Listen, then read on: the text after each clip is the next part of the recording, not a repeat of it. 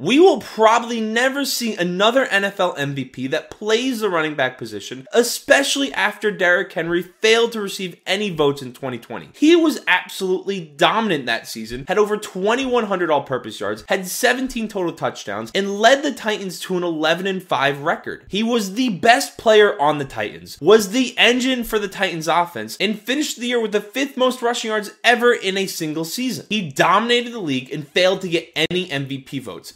Only rationale I can think of when I take a look back at the Titans season that year is that the Titans actually had an offensive supporting cast. You take a look at AJ Brown, he had over a thousand receiving yards, 11 total receiving touchdowns. Corey Davis had 984 receiving yards, four receiving touchdowns. Jonnu Smith had over 400 receiving yards, eight total receiving touchdowns. There were pieces there alongside him that produced. Then when you take a look at their quarterback, Ryan Tannehill had the best year of his career that year. Had over 3,800 passing yards, 33 passing touchdowns, seven interceptions. He was producing from the pocket. In contrast, you take a look at Adrian Peterson, who is the most recent running back to ever win the MVP award. He had little to no supporting cast. Christian Ponder was his quarterback, not a starting caliber quarterback in the NFL. Percy Harvin was the most productive receiver in that offense, only had 677 receiving yards, and no other receiver had over 500 receiving yards that year. That is really bad. He had to do everything on his own and is the reason that Vikings team made the playoffs. Adrian Peterson was the only player on that offense that struck fear into opposing defenses and was the only player defenses were worried about stopping. And Derrick Henry's case, even though you know defenses were primarily game planning around Derrick Henry, they still had to worry about AJ Brown. They still had to worry about Corey Davis. And in the red zone, Jonnu Smith was still scoring touchdowns. That brings me to why, as of right now, Saquon Barkley needs to be receiving MVP votes if the Giants continue to win football games and he continues his rate of production. He's leading the NFL in yards from scrimmage, is on pace for 2,300 scrimmage yards, and is on pace for 10 total touchdowns. Also, the Giants Giants have a 4 and 1 record when nobody expected them to go above 500 this season and nobody expected them to beat the Titans in week 1. And last week they found a way to beat Aaron Rodgers in the Packers. Saquon Barkley is the reason that all has been happening and has had little to no supporting cast. Kenny Golladay has two catches. Sterling Shepard has only played in 3 games and his season is done due to injury. Kadarius Toney has 0 receiving yards. Their rookie Wan'Dale Robinson only played in the first game and has one catch. Last week their starting receivers versus the Packers were Richie James,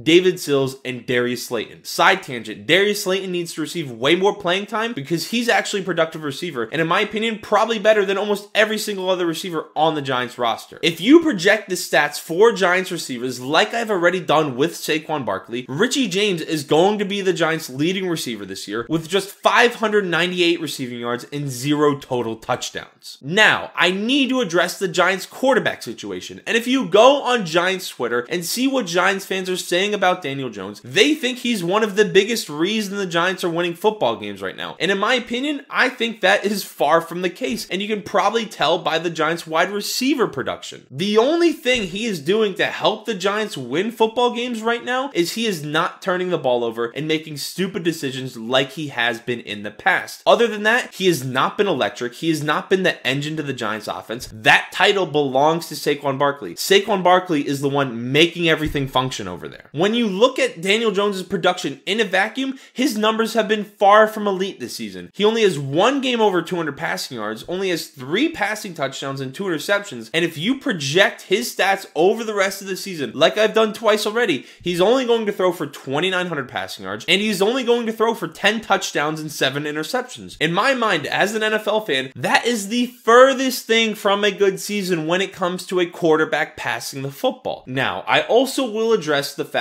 that he has been very productive on the ground because if I did not address that, Giants fans would call me disingenuous and not addressing the full case. When I look at Daniel Jones' production and compare it to that of other quarterbacks that are productive on the ground, it is not the same. Saquon Barkley is the one that teams are scheming for. He is the one that strike fear into opposing defenses. He is the one averaging five and a half yards a carry. Daniel Jones' production is built off of that. No one in the week prior to playing Daniel Jones is worried about stopping him on the ground. They are worried about stopping Saquon. In comparison, Lamar Jackson, he strikes fear into opposing defenses. Teams look to stop him on the ground first before they then look to stop J.K. Dobbins. Teams are not nearly as scared of what Daniel Jones can do on the ground compared to guys like Lamar Jackson, Josh Allen, Jalen Hurts, and Kyler Murray. They're just not the same. Now, with all that being said, I think it is pretty clear Saquon Barkley is the reason the Giants are winning football games right now. He does not have elite weapons like Derrick Henry did in 2020 when he had his historic campaign, and his roster and supporting cast is much more like Adrian Peterson's in 2011.